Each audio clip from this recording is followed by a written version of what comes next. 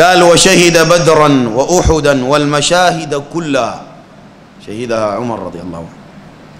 والله ما دي قوة بتاعت إيمان في أبي بكر وفي عمر وفي غيرهم من الصحابة. الزول يا جماعة يخش معركة والدم سايل ويتجرح ويتألم. تاني تجي معركة برضه يخش. حسي تنجوك كل أسبوع. راح ماشيين الدويم رحلة. والعربية مكيفة. وماشي. وتقيف كمان تقيف تشرب شاي وبسكويت وباسطة بلبن وكله. وماشي في الطريق. الأسبوع اللي بعده جوك. أسمع. قبل الصبح راح. في دعوة. أصلا ناس ود الناير ديل يجوك نص الليل. شوف ده يجوك. راح. ور تمشي.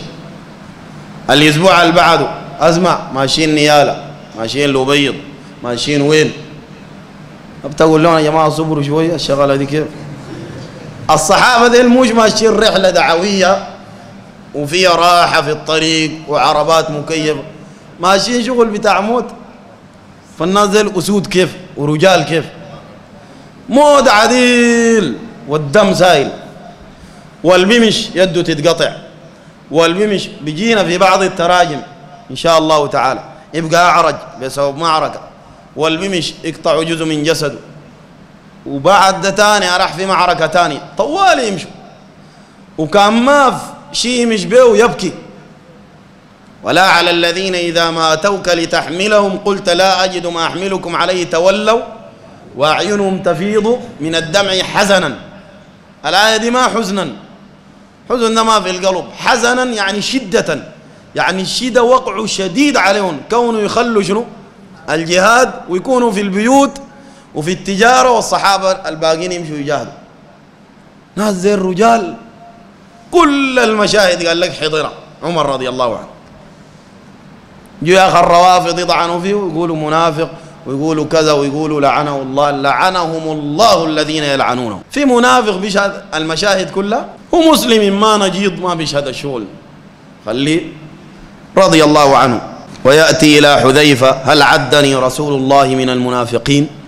صلى الله عليه وسلم. فيقول لا ولا أزكي بعدك أحدا. قال وهو أول خليفة دعي بأمير المؤمنين. دي المنقبة رقم أربعة. خمسة وأول من كتب التاريخ للمسلمين.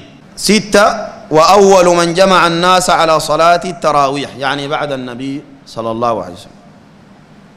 سبعة وحمل الدرة وأدب بها. حمل الدرة وأدب بها. رضي الله عنه.